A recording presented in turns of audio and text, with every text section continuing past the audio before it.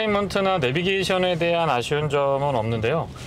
안드로이드 오토나 애플 카플레이가 무선으로 무선으로 연동이 됐으면 조금 더 이번 facelift에서 좋았을 것 같은데 그 부분이 개인적으로는 조금 아쉽습니다.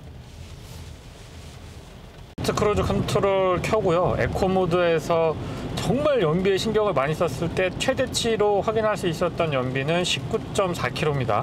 20km를 도전을 해봤는데 저는 쉽게 달성하지 못했고요. 뭐 날씨라든가 여러 가지 여건이 영향을 줬을 거라고 생각을 합니다. 참고로 시승 차량은 공기압이 38에 맞춰져 있었고요. 총 누적 주행 거리는 제가 처음 받았을 때가 1100km 정도에서 받았었기 때문에 사실상 뭐 완전하게 길들이기가 다 됐다고 보기는 어려운 상태입니다. 근데도 18, 19 정도를 어렵지 않게 유지하는 걸 보면 마음 먹고 공기압 세팅도 조금 하고 어, 차량이 길도 좀 들고 주변의 날씨라든가 교통 여건이 허락을 해주면 20km대 연비도 한번 도전해볼 만할 것 같아요.